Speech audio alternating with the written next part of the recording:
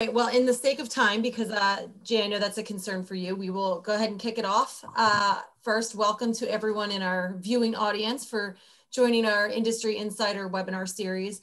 Uh, we have three wonderful faculty today presenting on demystifying wellness trends. Uh, they are all part of the School of Health and Exercise Science. And uh, leading things off, we have Dr. Jie Kang, who is uh, a professor who has taught applied physiology, nutrition and metabolism, and a research seminar all at TCNJ. He has uh, solo authored two books as well as numerous amounts of uh, publications, articles, uh, all of which can be found on our website and uh, our, our, faculty directory. Uh, joined, uh, joining him also is Dr. Laura Bruno, who has taught classes at the university level, including health education, health pedagogy, physical education, PE, pedagogy, and wellness education. She has uh, also numerous publications in the field of health and wellness and has been part of the TCNJ team since 2015. And last but certainly not least, we have Joanne Smith Tavener, who teaches stress management at the school. She also shared with us earlier that she is a TCNJ graduate, uh, both undergrad and master's in 2003 and 2004, and has been a part of the team since then. So thank you uh, to the three of you for joining us. Uh, we have a very diverse panel that's going to cover a lot of information.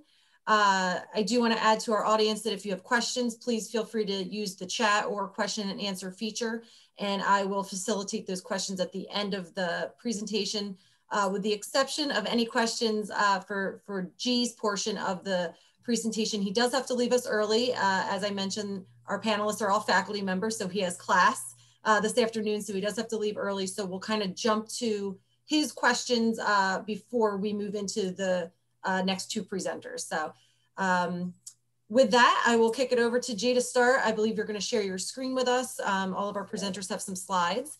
Uh, so yeah, go ahead. All right, I'm going to share my screen. I hope that is, um, let's see, I'm going to um, try to have a, uh, the play mode.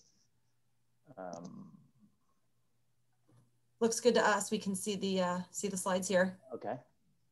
All right. So great. So yeah, thanks, Pam. Uh, yeah, thanks for the invitation. And I think this is going to be the good ones.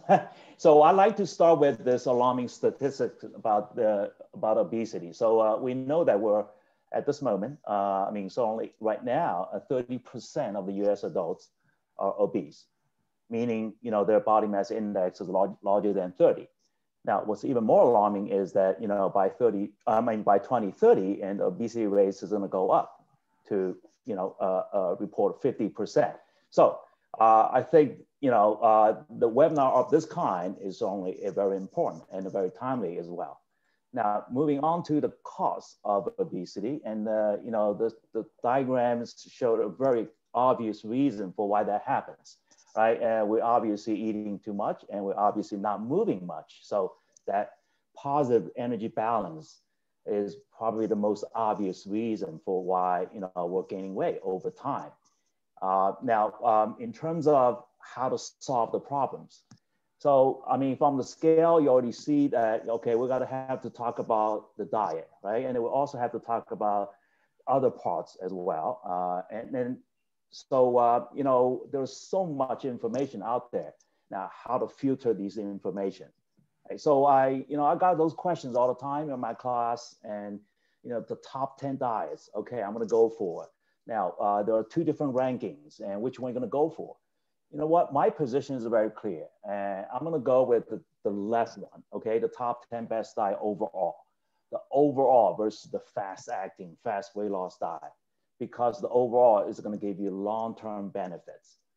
Now, let me explain more of the fast acting first, and then we're going to address the problem. Uh, the fast acting, okay? And the fast acting uh, does have some science behind that, right? Often is because, you know, a tremendous caloric restriction uh, that causes this fast weight loss. And then also the high protein, high fat diet will then causes increase the ketone and the ketone can suppress the eating, suppress the craving right? The high protein, high fats, high fibers, and those foods are, are going to be more slowly digested. So they're going, you know, they're going to stay in the stomach longer, and then so that would make you feel full longer. which would then translate into less eating. Okay, so then the question is, can you stick with it? All right, so the research has shown that, okay, for six months, it's okay. I mean, you see this good results and you're excited about it, but then how about at the end, you know, give yourself another six months. And we often see that, that the benefits got disappear. Okay, so then that is the things I worry about it. You know, if we're gonna do that thing, we're gonna have to think about long term. And the long term is, you know, it, it's not achieved through this low carbohydrate diet. So now the reason why, you know, there's such a frustration is to not, you know, uh, not being able to stick with it is because of the set point. Right? The set point is the concept that relates to the biologic control system. Right? So every time you start to lose weight and then, then you have this set point or control system that turns on to try to work against you. Okay, so it's a quite complex system, but I can highlight the two hormones. Right, these two hormones actually reacted to what you do. Okay, so then look at the leptins on the left and the ghrelin on the right. Right, so as you begin to you know lose weight, begin to reduce your caloric intake, and you're to see that the ghrelin is going to stay high. All right, it's to drive you to eat. And the leptin, on the other hand, uh, the hormone that's supposed to help you to stop eating, but then it gets reduced. Right? So you have this kind of bad combination of the two, which will then always put you on the spot. Are you gonna stick with it or you're gonna lose the battle? Okay, so uh, I mean, we see so many people actually, you know, uh, unfortunately lose the battle of it. Now, I got two studies and I always love to share with the students, right? And we talk about eating breakfast eating breakfast, okay? Eating breakfast will actually reduce overall production of ghrelin, okay? That's the hormone that's gonna drive you to eat. But then if we can then reproportion the calories, okay, the caloric intake, and we, you know, make a 600 out of 1500 to be eaten in the morning. And then we can then expect much less ghrelin productions. So as you can see, the weight loss effort is going to continue, right? As shown in this open square line. And so that's one study that I always like to share with students. I know this is tough. You know, you may have to miss a breakfast sometimes, but always keep that in mind. Eat, okay? Eat in the morning, not eat throughout the day. Uh, now, the other thing is uh, sleep, okay? And so uh, that is another issue that bothers students all the time. I mean, but young professionals as well. And, then so if you give yourself enough of sleep, and then you should see your leptin level will then be elevated and your ghrelin level will then stay low. And, and, so that is a good combination, but then has to do with how well you, you sleep. So that's another factor that often gets overlooked. Uh, so can we set, you know, can we reduce the set point? It's a biological control system. It's a part of who you are. And then sometimes, you know, people then say, well, I'm not sure if I can do it uh, study has shown that you can do it, but you have to do slow. All right, you have slowly making progress. Okay, as you can see that you have to think about not only to restrict the caloric intake, not dramatically, but do a small portion at a time, but then also focus on exercise, less sitting, stress reduction, and proper sleep. So now, how to do things in the right way. Well, uh, I will say, well, you want to be a, a, bit more quantitative. Okay, try to stay more quantitative. Now, how to do this? One is the caloric intake. You know, you want to kind of figure out how much is what you need it in order to support your daily activities. And the other is the macronutrient proportions. So uh, I'm showing you the formula, and that those formula can actually be get from you know you can get those online, and and uh, you can calculate your basal metabolic rate based on your height and weight, and then, then you can figure out the minimal calories you need in order to sustain life. Right? And then you may want to add a few more calories on top of it because you know you have to move, right? And so you need calories to support your activities as well. So I mean, we're talking about 1400 to 1800 to be BMRs, and maybe another 300 on top of it, and then you then go up to about 1700 to 2000 right? So those are the calories you have to always keep in mind, no matter how often you're gonna eat, uh, how, how less you're gonna eat. The other thing is the percentage, right? So those percentage, the fats, you know, you can push up to 35%, and protein, you might push up to 35%, but those fine. But then you look at you know those fast acting diets, right? Rapid weight loss diets, keto diets, and Atkins diets, and those diets are actually really push for you know for the extreme. For example, protein, you know, for the Atkins diet, it needs to go up to seventy percent. Uh, and then for the keto diet, the fat percentage needs to go 80%. Uh, I'm not a big fan of it because those diets don't stick long. Right. And so, so once again, so those are the two key things that you want to know. Uh, and then, uh, then if for those who really want to know how to do it, and then I'm going to give you this uh, website. Uh, it's very easy to use, very easy to follow. Okay. The recommendations made by all based on the nutritional theory okay, and good practice as well. I mean, you see all these six different food groups, and they all got emphasized uh, if you follow that uh, that right way. Uh, choose myplate.gov. Okay, so that's the website you wanted to keep in mind. And then once you follow that, and then you know that you will get proper nutrition, um, you know, on top of it, you know, having a decent caloric control. Uh, now, the other thing I like to add on to it, and that is the, you know, uh, the fact that that's actually emerging to become important factors. Before, you know, I would say 10 years ago, people normally don't pay much attention as to the timing of it. Uh, now we're going to talk about it because this whole theory goes along with the circadian rhythm. Right? And, and so based on the circadian rhythm, yeah, your metabolism is supposed to be more active during the day, especially early part of the day. So if you can then place your eating mainly during that time, and that will be less likely to, to, to convert some of the food into fats. Right. So so we, we're talking about the photo on the left side, and then that is, you know, uh, uh, two, three meals a day, they eat breakfast once again. All right. And hopefully you can stop your last meal a little earlier. All right. We may not want to say, hey, four o'clock, that might be too early, but how about six o'clock, 6 p.m. Okay, so they definitely want to avoid late night eating for sure. And now you want to give yourself fasting periods, you know, between meals, overnights, so that you can let that body to turn into a fat burning mode. All right, so you want to do those things often, and you want to do this every day, so that you can always be, you know, you'll always be able to switch between fat burning and fat store. And definitely fat burning is the one that you're concerned the most, right? So we would like to do that. And so those are the things that you know, you wanted to also focus on, you know, in addition to uh, the total caloric intake and there's also macronutrient proportion. Uh, okay, so then uh, I, I'd like to um, actually end my presentation by just, you know, um, just showing some of the statistics right here. And that, that's actually coming from, the results coming from study that, you know, that survey those who had successful stories right? So maybe we can kind of learn things as to what they did. Perhaps we can use it towards, you know, uh, uh, what we want to do.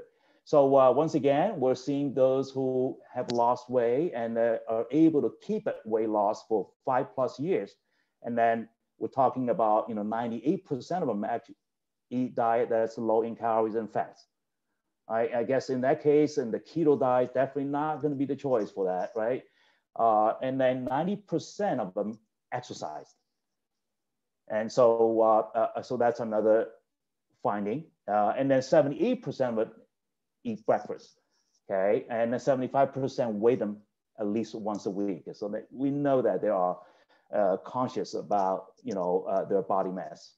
And then 62% of them watch less than 10 hours of physical, I mean, 10 hours of TV. So, so once again, there are you know they're physically active and then they they uh, they eat breakfast and they also have this kind of overall healthy lifestyles.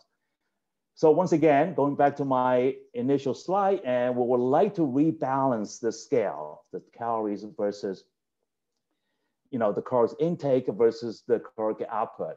And we know that that has to be approach that needs to be holistic comprehensive and, and I guess, you know, we, you know, our next talk is gonna be on physical activities. So I guess it's a perfect timing to end it right here. And I'd like to just take the questions. Thanks so much, Jay. Thank you very much. Uh, I did have, oh, there we go. Thank you.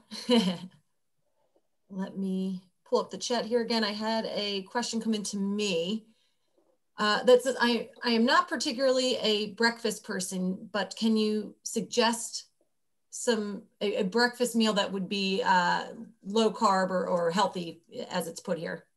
Yes. Uh, if, you know, uh, I guess as a student, uh, all, you know, eating breakfast all the time is probably not realistic. And then you can, so you can delay you can delay the time. There have been studies showing that if you at least keep an eating window to be less than eight hours, all right, so you can then say, well, I'm gonna start from eight, 10 o'clock in the morning, and then I'm gonna stop eating at four. And, and then that will actually also work. All right, so, so we're talking about intermittent fasting almost, but then this is more of a mild version of it, uh, eight to 10 hours of eating. So then you can then have uh, 12 to 14 hours of, of, fasting. So still, you know, the fasting period needs to be pushed a little bit, but uh, yes, you, yeah, you can do that and just delay your eating and start at 10 and then, but end the eating earlier. Uh, okay, the next question that came in, and I, I, I don't think this is what you were suggesting, suggesting, but it says, is one meal a day realistic? Uh, that has been some study done, and you might lose a few pounds over three month period. I believe those studies actually use a three month as intervention period. Uh, uh, I do not suggest that. Uh, it, it, it, just doesn't, um, it probably doesn't stick that long.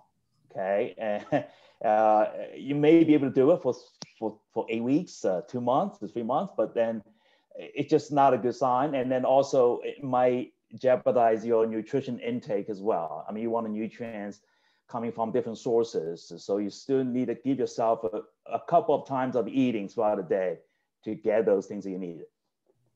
Great, thank you.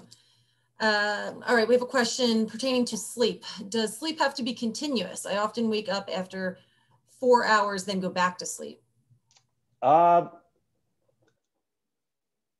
you know, I, am not a sleep expert, but I, uh, the, still the proper amount. Uh, you know, people do have those kind of fragmental sleeps and they, they, wake up and sleep and there's also deep and uh, shallow sleeps. But then uh, I would say still the numbers uh, the study that I show you guys, and that was actually a uh, uh, the continuous sleep.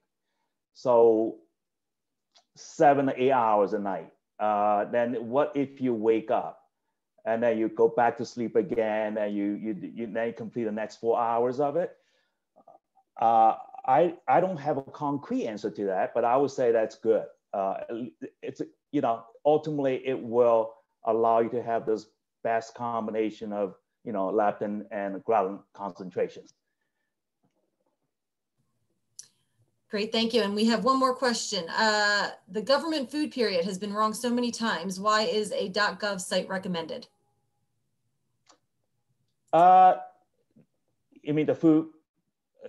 Yeah, the, the yeah. Yeah, I would say, uh, you know, that that still, uh, the methods are still good, okay? And and the, uh, the idea behind that is also good because it emphasizes uh, the fact that you want to be mindful of the quantity you consume. And you want to be mindful of the variety that you're taking in. Uh, you want to be mi mindful of the physical activity that you need to build in to calculate uh, the, the, total caloric intakes. So the general ideas is fine. I'm okay with it. I like the idea. You know, the photo I show you guys, there was a guy exercising on that pyramid, and then there's also six, six different colors. Uh, that's the varieties. And you also see the triangle, meaning that you can proportionate it based on how, you know, how many calories you burn. So uh, I would say still okay with the, use the ideas, but in terms of find, you know, I'm, I'm not sure exactly what question is, but and overall, I kind of still like the ideas, the, the principle behind that website. Perfect, thank you. You're welcome. All right, Jie. Well, thank you again. Uh, as I mentioned, uh, I know you have to head off to teach a class, so thank you for uh, accommodating this. Uh, oh, thank you. Uh, accommodating thanks, Pam, yeah. this, this, webinar. We really appreciate it. Thanks, Pam. Yeah, thanks for having me. Yeah, thanks for attendance. Okay, Laura, looks like you're all set. Thank you, and I will uh, turn it over to you. Okay, thanks so much, Dr. Kang. That was wonderful. That's super helpful information for all of us to know. Um, Thank you, Laura. so as Pam mentioned, I am faculty here at TCNJ with the Department of Health and Exercise Science. And I'm gonna sort of piggyback, continue to focus on the physical dimension of wellness, but my focus is gonna be more on uh, physical activity, that component. So to begin, I do, I do just wanna kind of precursor this with the notion that um, since I know we have a lot of different people in the audience, it is important, make sure before you start any type of exercise program that you consult with your doctor. Um, this is especially important if you are recovering from any kind of cardiac event or stroke. So everything that we'll talk about today is, is going to be centered around the notion that you have the all clear um, and you're in a position where you're healthy and, and really ready to be active and, and um, engaging in regular exercise. Okay, so on that note, um, I'd like to open just by talking about these three terms. These are oftentimes used interchangeably, but I just want to kind of point out some of the similarities and some of the differences with them. So you'll notice the first term, physical activity. Um, you can see the definition, any bodily movement produced by skeletal muscles that increases energy expenditure. You can look at physical activity through a couple different lenses. Um, we can look at it through kind of the notion of we should be engaging in regular physical activity. Uh, you can look at it from an occupational lens. So in other words, it is possible that, for instance, um, a mail carrier or a construction worker they're engaging in physical activity, but it doesn't necessarily mean that they are physically fit. So the next term there, exercise, is defined as physical activity of a repetitive nature that is planned or structured with the overall goal to improve or maintain one of the health-related fitness components. So exercise is intentional physical activity where we are really looking to improve upon certain components of our fitness. And then lastly, physical fitness is sort of the ultimatum, right? So this is the optimum level. Um, we can obtain good physical fitness through regular physical activity and exercise. And so for my visual learners out there, this kind of provides you with sort of a visual, the spectrum of physical activity. Again, you'll see here are physically inactive. We can be physically active, but it doesn't necessarily mean that we're physically fit. Um, a key way that we get physically fit is through exercise. All right, having said that, there are four types of exercise that we're gonna talk about today. Um, the very first one is endurance, and you can kind of see some examples here. There's also strength conditioning, there's balance, and there's flexibility. So ideally, when we're thinking about exercise, um, we want to think robust. So an ideal scenario would include each one of these types of exercise. It doesn't mean we have to do each one every day, but truly, if we're looking for um, proficient and optimal, we wanna think about variety. Okay, so I'm gonna first kind of start by talking about this notion of strength. And um, so strength can actually be viewed through two different facets. There's muscular strength and there's muscular endurance. This is one of our health-related components of fitness. And ultimately, as we think through this idea, it really starts at whatever the participant's goal is. So I've worked before with students and with clients who have said, I don't want to get bulky. I don't, I don't want to do any kind of muscular, you know, strength exercises. And I really have to kind of caution that because there is huge advantage to including strength training in your exercise regimen. So even if you're not looking to build, then your focus would be more on this muscular endurance. You'll see the key difference between the two is this the, the amount of force or the intensity. So muscular endurance is more a submaximal force over a period of time, whereas muscular strength is really a maximal amount of force one time through a full range of motion.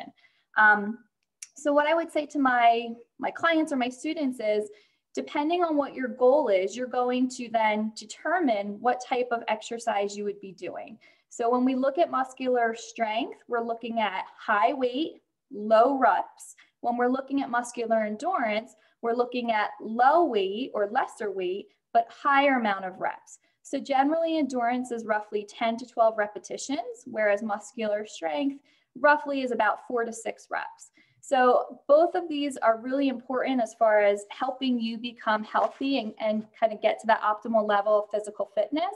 It's more about the means and your goal, which will determine which area that you want to focus on. Okay. Um, the next component here, the next um, type that I'm going to discuss is this idea of balance. Balance is not a health related component of fitness, but it is a skill related component. And this becomes increasingly important as we age. the reason being that our sense of balance will actually deteriorate as we go through the aging process. Inside your ear is your vestibular system, and that is essentially how we perceive balance. When we age, these cells actually die off, and that can affect our ability to correct or recorrect our position. So in addition to the vestibular cells dying off, as we age, we're also um, typically decreasing our, our muscular strength, as well as um, experiencing decreases in our bone density. So those three things coupled together often can result in poor balance, which will then result in fall or injury. So it's important that as we're thinking about our overall sense of health and well-being now, we want to be doing some activities and some exercises that are going to allow us to maintain a certain level of balance, since we know that that's important as we continue to age.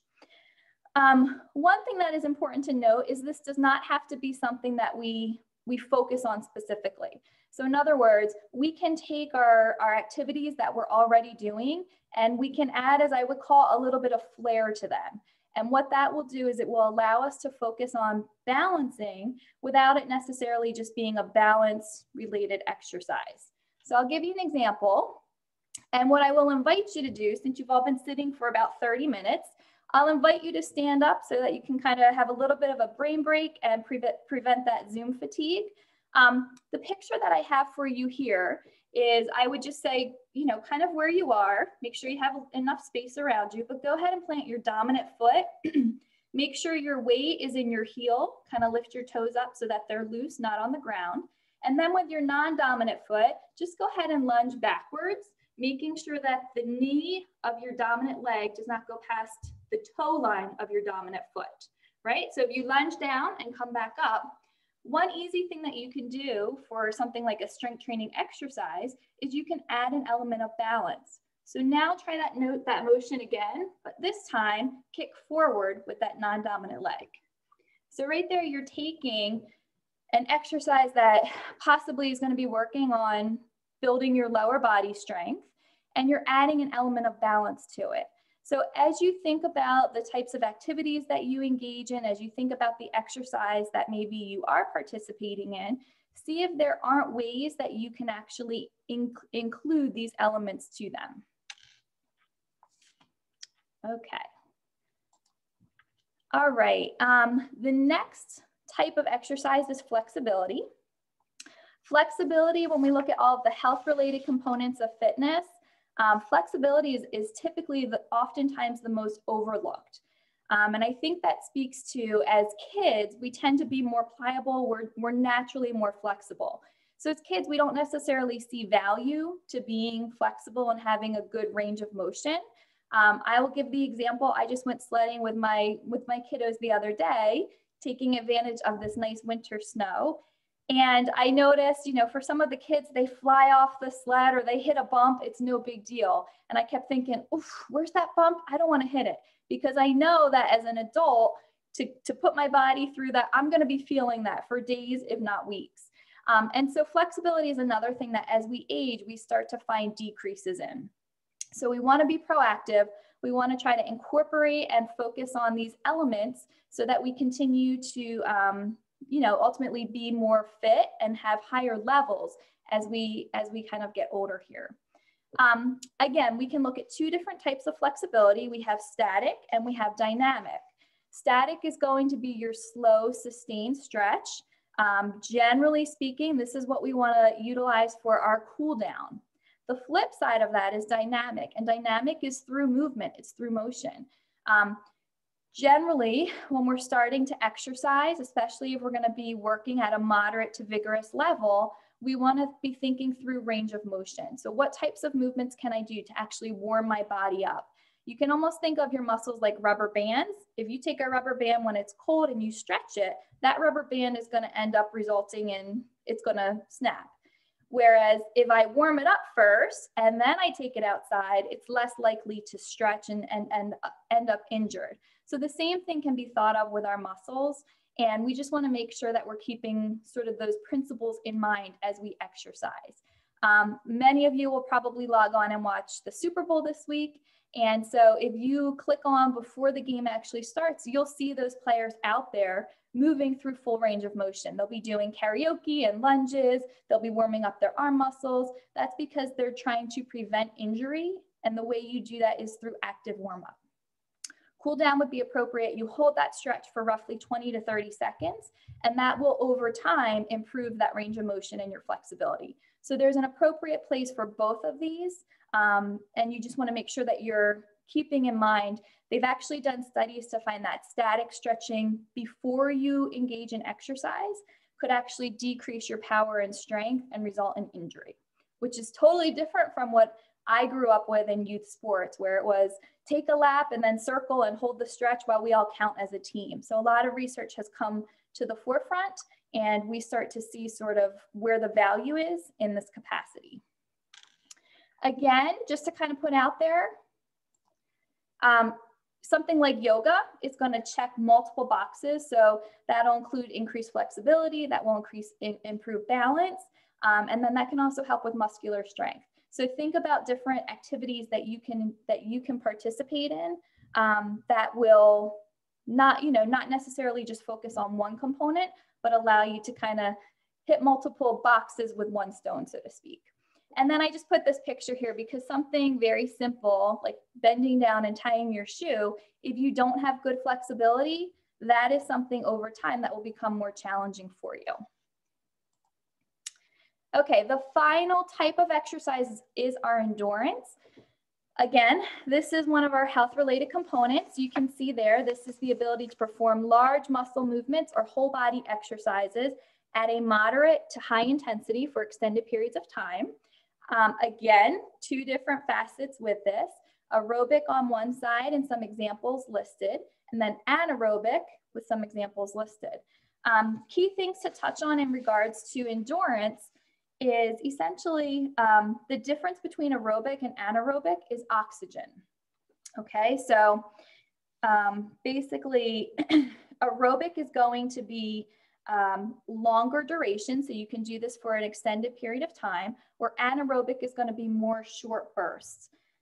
aerobic with oxygen, you have enough oxygen to produce the energy that's needed to perform, with anaerobic or without oxygen, the demand is greater and you can't keep that energy level up. It's taxing, it's demanding. One rule of thumb that you could use to determine how hard you're working and what threshold you could possibly be in is what we term the talk test. And basically that allows you, if you can have a conversation, then you're likely using more of aerobic activities, okay? Um, you're probably in the light to moderate as far as where we fall in that spectrum if you're having difficulty maintaining a conversation like that, you're, you know, you're huffing and puffing, then you're probably more in that moderate to vigorous. And depending on the exercise, that could fall more in that anaerobic type of a category. Um, which one is better for fat, for fat loss? I'm so glad that you asked. They've actually indicated that if you're looking to burn more fat, right, or lose weight in regards to your fat, anaerobic is actually what's recommended. And the reason being is A, it can burn more calories, it increases your metabolism. You'll experience something what is what is better known as the afterburn effect, which essentially is once you're done with your exercise, your metabolism will be higher. So you'll continue to burn calories even after that fact. And finally, another key thing is it saves time. The number one reason that people cite for not exercising is lack of time. I think that the statistic was 42% say that that's the reason they don't exercise. Um, you know, I think that we're all very busy. We lead very busy lives. And so the thought of having to go to the gym for two hours is just not realistic.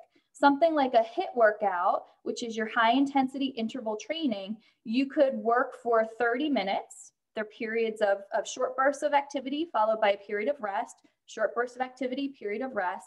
And that's something that a 30 minute workout will meet those requirements. It'll hit all those elements as far as burning calories, afterburn effect, and increasing your metabolism. And you, re you really only need about 30 minutes to participate in that.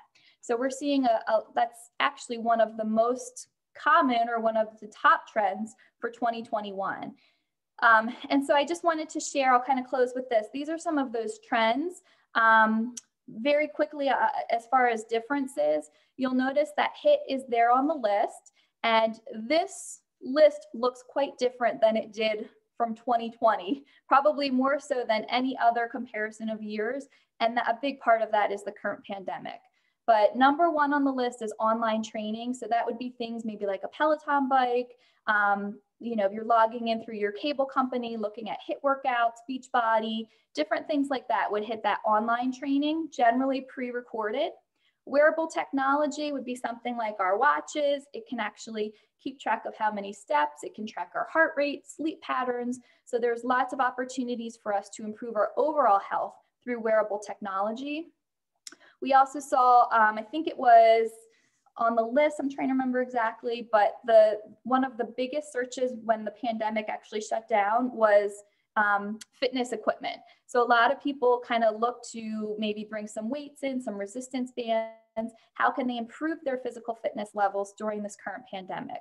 Outdoor activities were also on the rise, things like taking hikes, um, playing outdoor sports, pickleball, tennis, things like that. We saw big increases in high intensity interval training, which I discussed.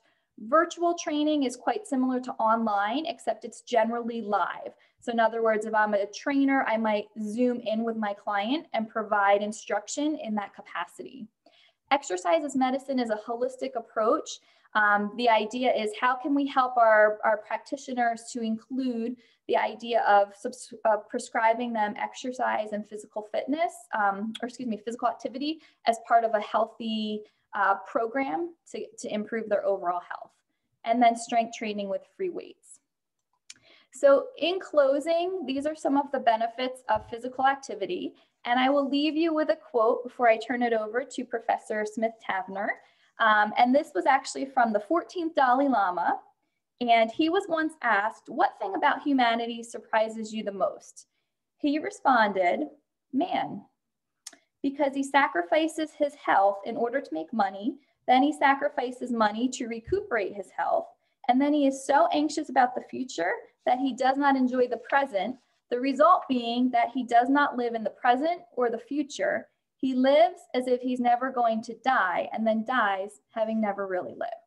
So I think this is just a nice spot to kind of transition to talking about holistic health and finding balance.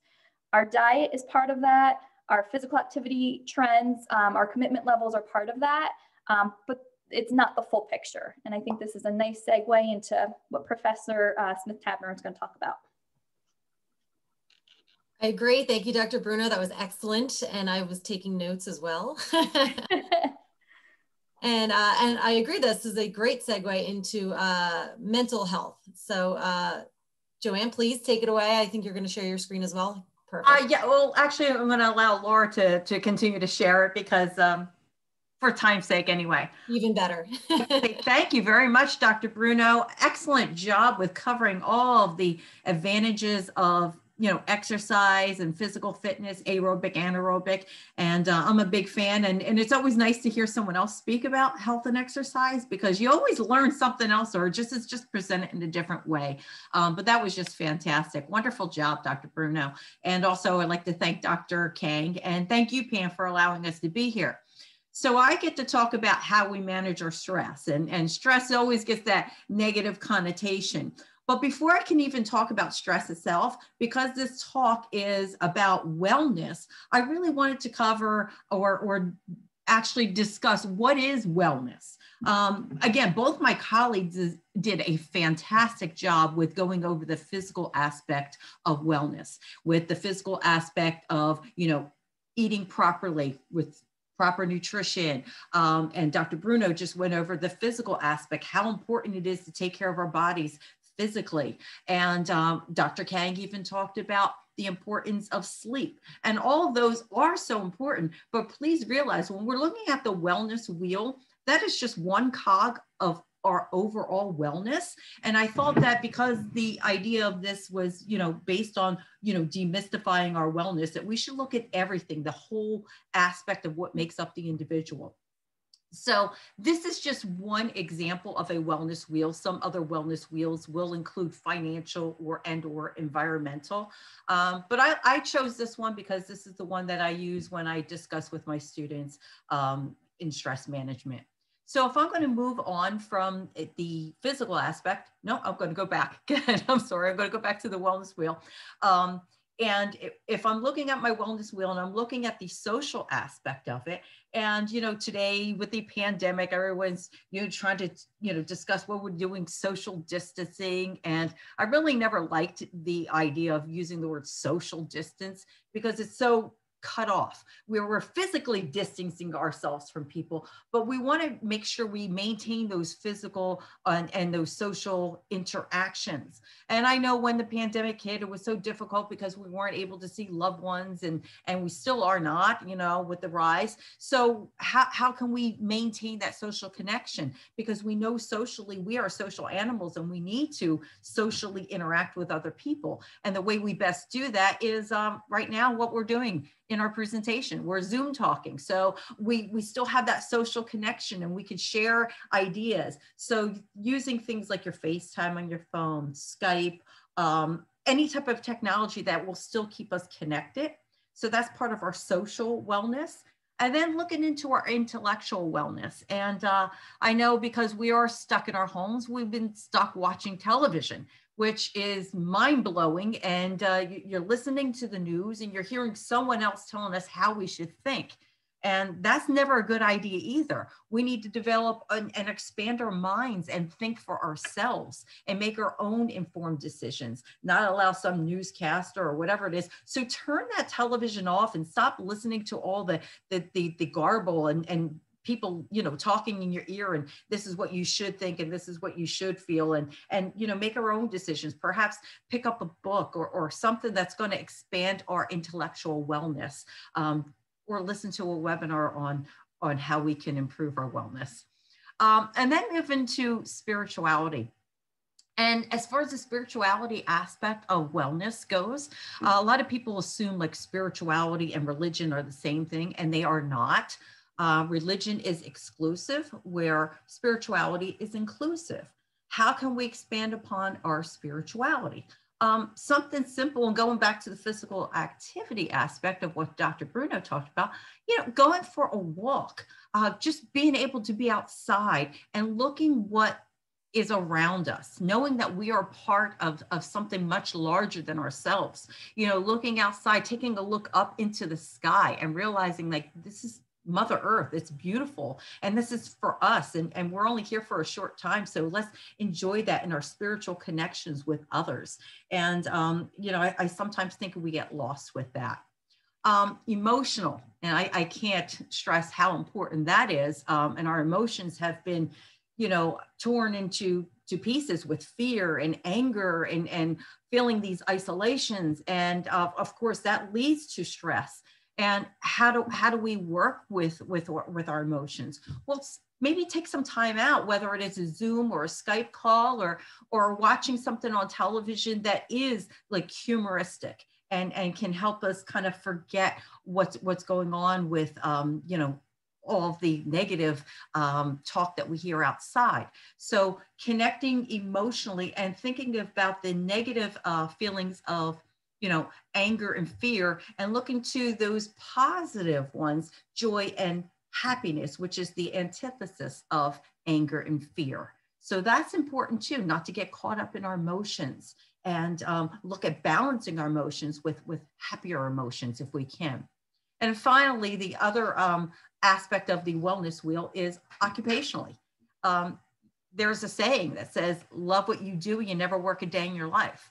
And I, I totally believe and ascribe to that. Um, you have to have a passion for what you do. You can't fake passion. And if you love what you do, you don't feel like you're working. Uh, some people are stuck in jobs that they actually hate, and that could affect every aspect of the wellness wheel. I mean, if, if you despise your job and that's going to affect your physical, you're not going to want to work out. You're not going to want to be social, hanging out with your friends, or you're going to talk about the same thing, how much you dislike your job. And intellectually, you're not going to open up or expand your, your, your thought process because you're stuck thinking about how much you dislike your job. And spirituality, well, you may not feel that connection. And of course, emotionally, the emotions are running wild. So let's go to our next slide and discuss what is stress and is all stress bad? Well, first of all, stress is, is, is something that's hardwired in our DNA, right? We are, we are born with this, this survival technique called the fight or flight system.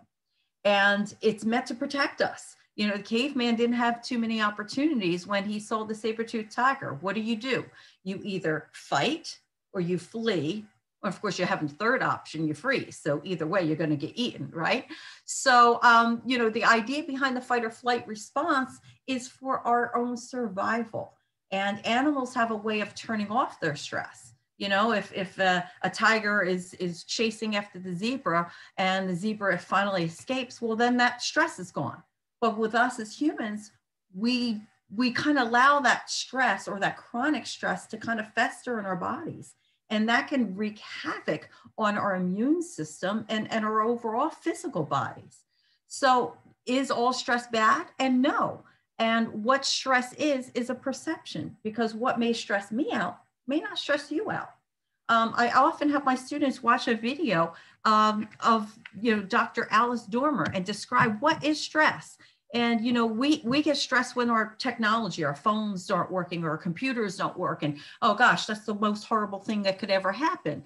Well what about the child or children who are wondering where their next meal is going to come from? You know am i going to eat today?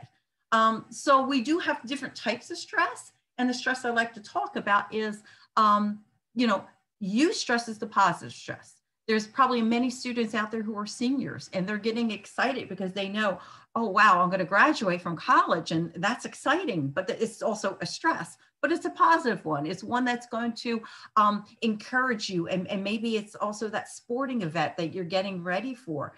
And um, it's that energy you're feeding off of. So it's a good type of, of stress, eustress. And that distress is that wear and tear. Uh, it, it's just like, you know, again, we can't shut it off. And it degrades our immune system because it's kind of like in the analogy I like to use. It's like when you go to the grocery store or wherever you go and they scan the item. And when your immune system is working optimally, you know, let's say it's a cancer cell and boop, it won't go through because your immune system will engulf that cancer cell and just destroy it, right? So that's when our immune system is working properly. But when we degrade it by this constant chronic worrying, what about this? What about that? What about things we can't control?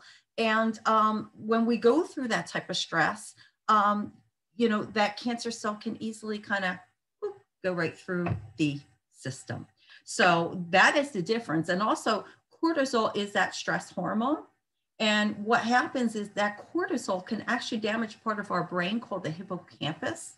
And the hippocampus is that short-term memory, or like what I use, I like to call your GPS. It's kind of like when you go outside and you go, "Where's my car?" You know, and it's going to destroy that. That type of stress is going to be constantly wear and tear on our bodies.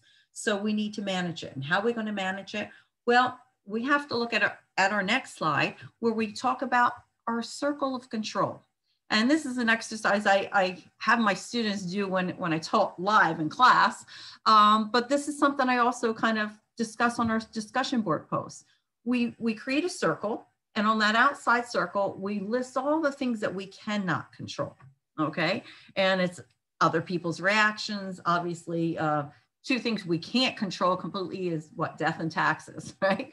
Um, and then we draw inner circle and then in that inner circle, we look at what we can control. And what actually we can control and what's our responsibility are, is our reactions and our responses to the things that are surrounding us. Are we going to get aggravated because that person cut us off? Are we going to, you know, allow that, you know, stress to, to manifest itself into our bodies and harm our own bodies? Are we just going to say, well, that person was really in a hurry and just let it go? Um, and that's something we really need to look at is the big, the big picture. You have control of your emotions. And that's something that this whole exercise teaches us. Okay, so let's look on to our next slide where we're going to talk about oh, I'm sorry. I talked about the stresses, and um, we're going to manage the, our stresses, our bad stresses, by learning how to breathe properly. But before I teach you how to breathe properly, I want to go through on our next slide, because I discussed the distress and eustress, how we can assist with our mental health. Um, number one, and I think women mostly have a difficult problem with saying no, right? Hey, what are you doing this weekend? Um, nah, nothing. Hey, you want to help me move? you know, um, saying no can be quite empowering. And people say, oh, that, that's just horrible. If there's something you just don't want to do or something that's going to take up your time and you feel as if it's not going to be beneficial to you, it's only going to create more stress, say no. You don't have to provide an explanation. You just, hey, would you like to? And just let it go. But as women, we have a tendency to like explain, well, this is why, this is why. So again, just say, say no to stressors, say no to the phone, turn the phone off because, you know, when you're looking at all the social media, it can become overwhelming. And I know women have a tendency to constantly compare themselves to what they see on Instagram or whatever it may be. Turn it off, say no. Uh, another important way to where we can help our mental health with our stress is through cognitive restructuring. What cognitive restructuring is, it takes something that is negative and turns it into something neutral or positive. Um, and this could be anything. Uh, people, you know, I'm, I personally am a breast cancer survivor. And I remember, you know, when I was diagnosed, it was like, oh gosh, why me? Why me? And I didn't want to get stuck with the identity of being a cancer survivor. I wanted to say, okay, well, this stinks. And what am I going to do to change the situation? Well, I can't physically change the diagnosis, but I can change my perception and how I look at things differently. Maybe I can appreciate life more. Life gave me lemons, I'll make lemonade out of it. That's what cognitive restructuring does. Exercise. Dr. Bruno went into this. I, even if it's not, you know, something aerobic, something planned, at least go for a walk. And at this stage, if you're going for a walk, at least you're kind of tuning into your spirituality. But physical exercise. Uh, I believe the, the standard from the American College of Sports Medicine is 150 minutes a week. That's 30 minutes a day. 24 hours in a day, I think we can find 30 minutes, even if we have to break up that 30 minutes 10 minutes in the morning, 10 minutes in the afternoon, and 10 minutes perhaps in the evening. It's something. Um, the, the other thing I have to talk about is connecting with nature. We're stuck inside, we're looking at our computers. Go outside, appreciate what we have around us, smelling the smells, um, looking at the snow, looking at the water, looking at the sky, looking at the trees. Connecting with nature is so important. We call that ecotherapy. And um, it can really kind of calm ourselves down and kind of bring back you know uh, a sense of what we call homeostasis in the health and exercise science field you know? It kind of brings us back to that calm. Um, manage your time many people like to procrastinate and we know that procrastination you know often leads to stress which also leads to distress and mental anxiety um, take big tasks and you know, kind of divide them into smaller ones so that things become more manageable. So if you have that huge paper that is due and you know when it's going to be due, start working on it. Do an outline today. Start doing some of your research. Start preparing. So manage your time can help you alleviate a lot of unnecessary and unwanted stress. Connect with friends. When I say connect with friends, you know, talk with them. Make sure you spend time. Call your mom, call your dad, call your, you know, your brothers and your sisters. It's so important to establish those connections, especially now when we feel so disconnected um, due to the virus and, and our isolation required um, to, you know, stop the spread, if you will. Laughter. Now, um, there, there's a lot to be said about a good old belly laugh and comic relief is, is important to our overall health and well-being. Um, there was a gentleman by the name of Norman Cousins. And Norman Cousins was diagnosed with a very debilitating disease.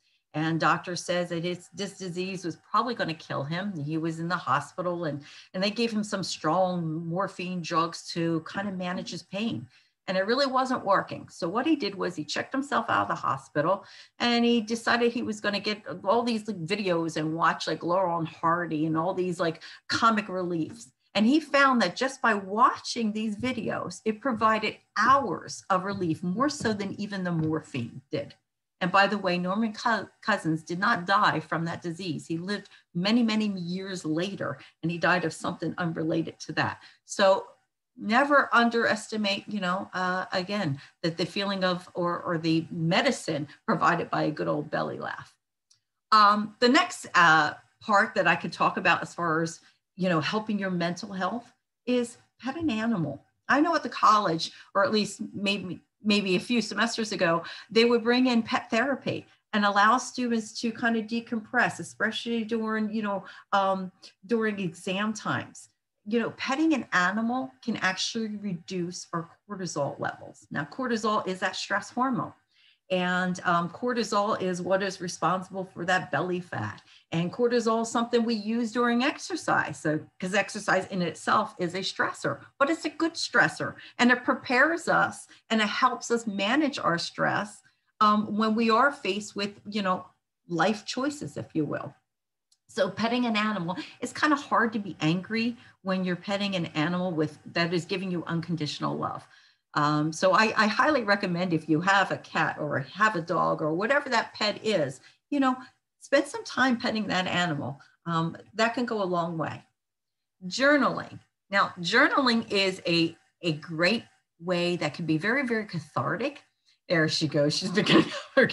um, I like to journal, not just, you know, people think, oh, you got to write everything down. No, um, there's an exercise that I have my students do.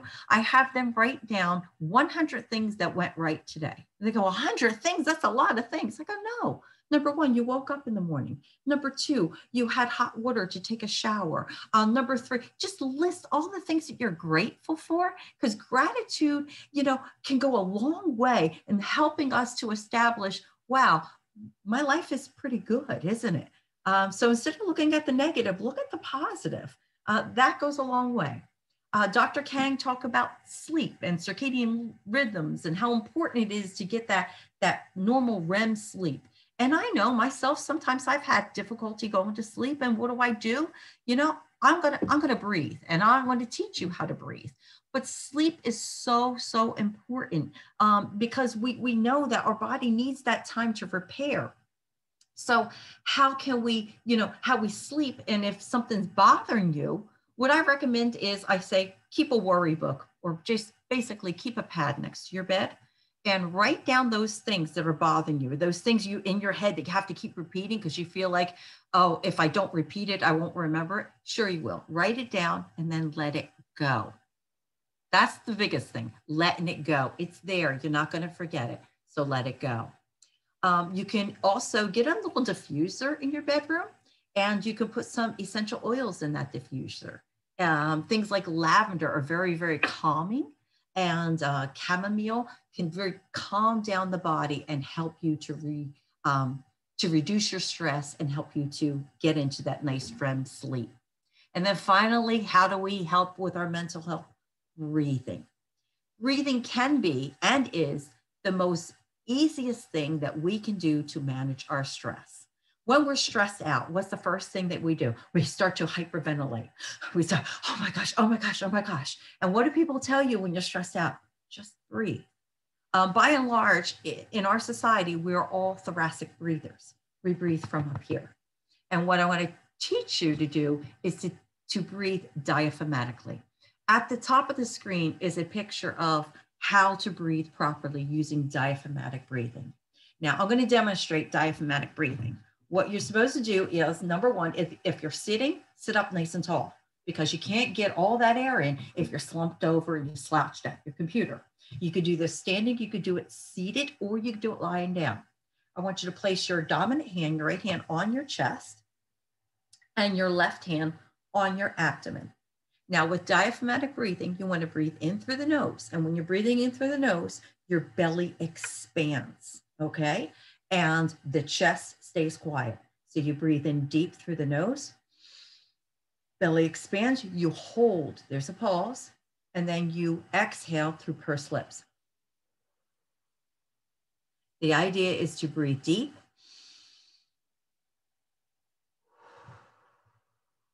Then I always have my students close their eyes and do it. And I say, and then create some type of imagery. Think of when you're breathing in, you're breathing in pure, unfiltered, you know, or filtered oxygen. And then, and when you blow out, you're blowing out all those toxins. So let's try this. So breathe in through the nose, pure air, hold it, and blow out all those toxins in your body. So that's what we call diaphragmatic or belly breathing. Okay. We also use this square, which I'm, i have like a quick little like demo that I could show you called square breathing, where you breathe in, inhale for four, hold for four, exhale for four, and then breathe again. Um, so the important thing is first teaching diaphragmatic breathing before you get into learning various breathing techniques. Various breathing, breathing techniques such as box breathing, the four, seven, eight. Four, seven, eight uh, type of breathing is where you breathe in for four, you hold for seven, and then you exhale for eight. Now, some people say counting makes me stress. Well, then, um, you know, then I'm going to show you on the next slide what to do. Okay. And on the next slide, um, some people the, like the visualization. So if you went to this website, this little YouTube, it basically, this whole shape expands. So you breathe with the shape and then you exhale when the shape basically, you know, kind of comes back to, to flatness. Now realize that, you know, some people say, well, I, I breathe better when I'm watching something or I'm not watching something, but the more of your senses that you can incorporate, the better you can help manage your stress. Okay, so those are some key areas where I would highly recommend that that you kind of incorporate being mindful and being present with with what's going on. Um, and and Laura gave a great quote, quote, and one of my greatest quotes is from Mark Twain.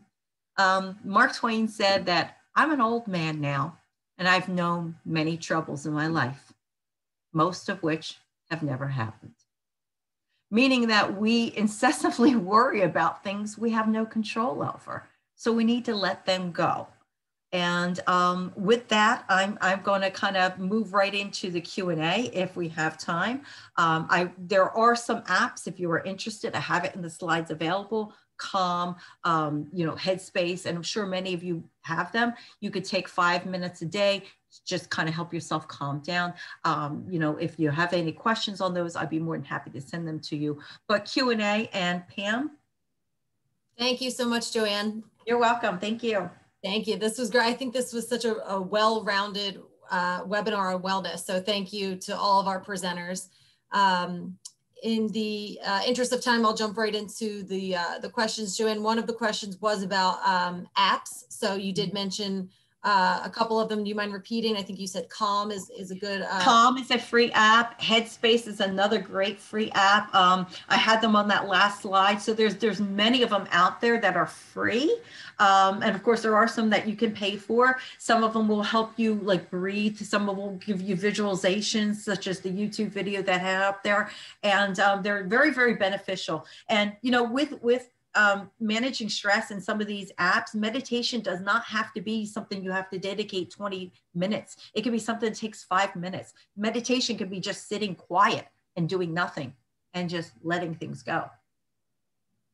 Excellent. Thank you. Mm-hmm. Um, Laura, I think this one is for you. Uh, can you suggest the best flexibility exercises specifically for tennis? Yeah, absolutely. Mm-hmm. Um, so Sandra, it looks like, eh, you know, when you're thinking about tennis, you want to think about cutting, right? So we want to be mindful as far as knee injuries. So definitely start with some type of a dynamic warm up. I would start even if you're just doing something on the court, um, hip openers, lunging, think of movements that you would incorporate during your gameplay in tennis. Um, another thing, I always like to open up my shoulders. And so one quick trick for that is if you take your index finger and just kind of lean towards the ground, almost as if you were writing in the sand, like if you were at the beach.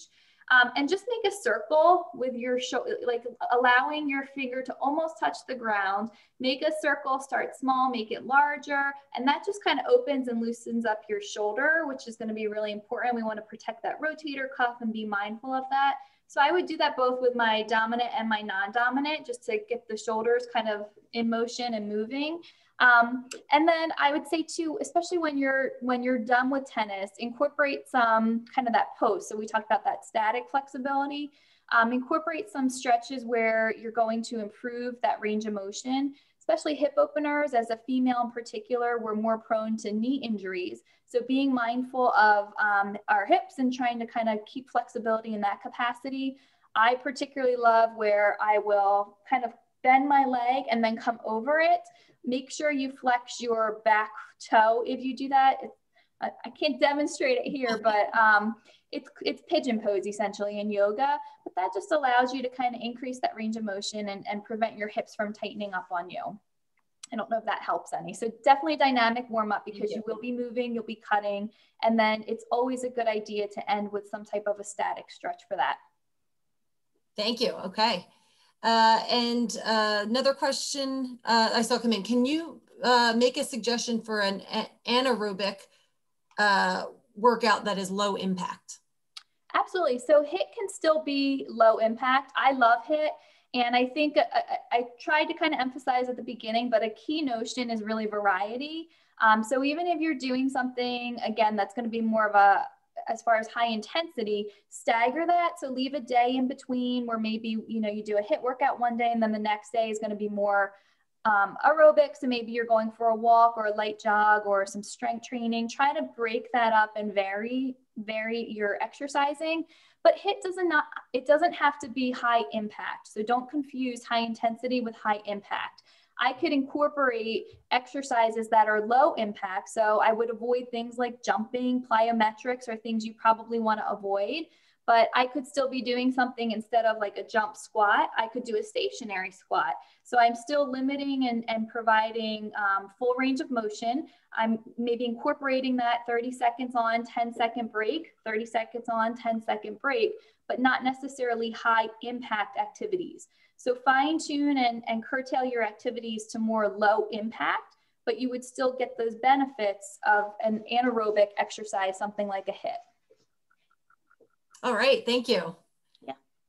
Uh, all right, well, ladies, thank you. And uh, to, to Dr. Kang, who had to jump off for, for class, we thank him as well. Um, I, like I said, I think this was a really diverse and well-rounded panel. So thank you again for all of the information, tips, tricks, suggestions. Um, if we have any other questions that were not answered, I, I think I did uh, miss a couple. I will try my best to uh, direct them to the proper person and hopefully get an answer for everyone. Uh, to our audience, thank you for joining us again. And uh, I hope you found this as valuable as I did. Thank you, Pam, for organizing. Thank you all for being part of this. Thank you very much. Thank you, Pam, too. Thank, Thanks. thank you, Dr. Bruno. That's my furry animal who I can go pet. okay, great. Thank you. All right, everybody take care. Stay healthy. Bye. Thank you. Bye. Bye.